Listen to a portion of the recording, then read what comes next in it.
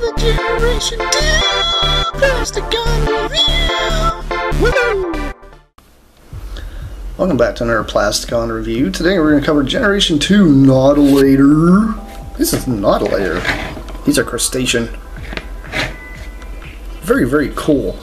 Do like the colors on this guy. He's very, he's more of the whiter ones, or the uh, brighter colored of the group. This really isn't a white though. It's like a such a palish kind of gray. It's really neat. I do like his uh, little claws here and how they're all painted black here and they really really stand out. It's also got these nice uh, that odd maroonish purple legs going on there. And then you know just got the little crustacean tail just kind of you know it, it really does look like a little lobster. Do you like it? It's got this gigantic gun that goes on the front here that you know you can take off, and then you can close up his mouth because he does have a mouth. A lot of these do have mouths, which is really cool. Do like that about this. And then this here, you can actually peg it kind of in the hand if you wanted to on the side, but it's kind of difficult to get it in there. But you can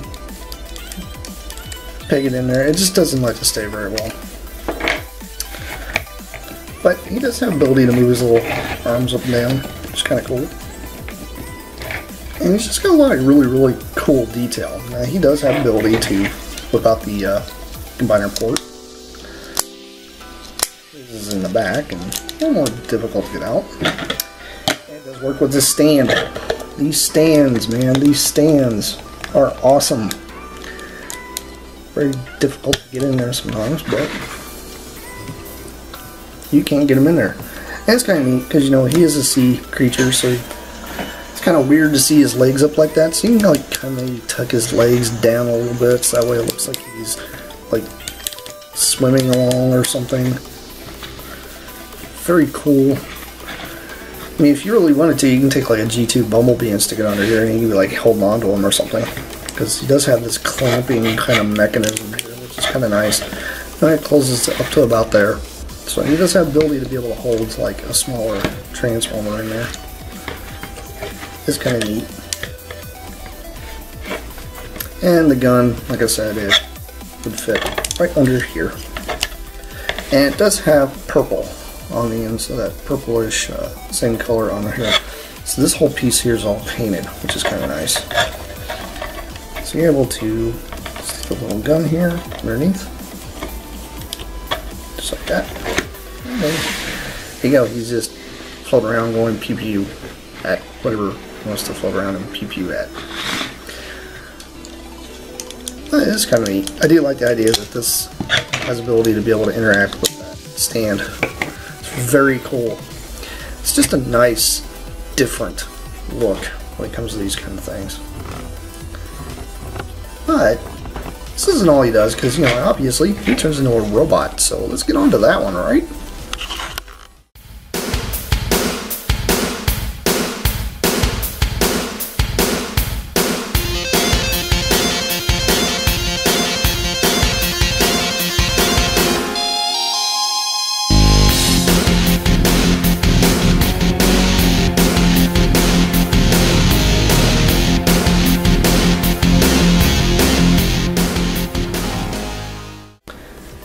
Nautilator in his robot mode.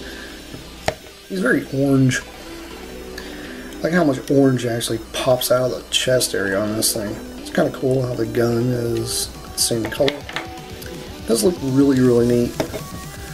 His uh, legs being out like this really makes him look a lot bigger. You can, if you want just disconnect the uh, arms, because arms do come off, much like Overbite and then you can fold these back. And then you can have a little slimmer robot if you wanted to.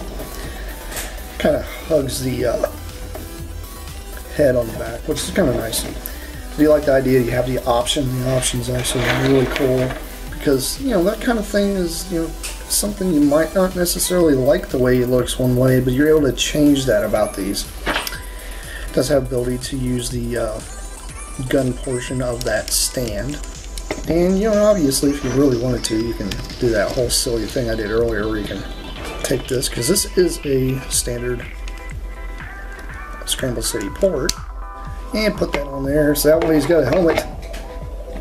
He's got a helmet head going on. It's kind of funny. I find this hilarious that I can do this. But it does have pretty good detail on that head sculpt. It's not too bad.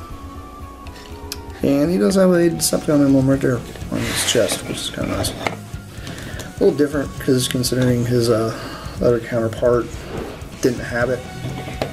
Although Overbite did. Yeah, Overbite actually had one too, which is kind of nice. So yeah. these two here, kind of to me, are almost similar, especially since they kind of can do the same gimmick with the hole here to be able to turn into a target master, just like the uh, just like overbite. To do that, you're going to flip this thing here out.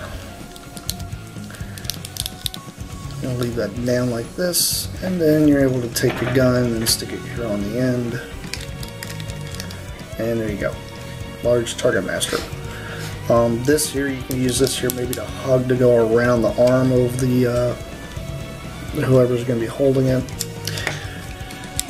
You also have ability if you want to to flip this around the opposite way. Put this out and put the gun here instead. It's kind of nice because you know that options, man, options. You, you gotta love that. It's just it's these what these guys are all about. Do like that. I like that. You know, transformed back into robot mode. It's just it's great. It's so simple. Doesn't take long at all. I do like that about him. But anyhow, it's been Plasticon. It's been another Generation 2 review. I'll catch you guys around because I'll have more, plenty more, coming your way. See you around. Bye.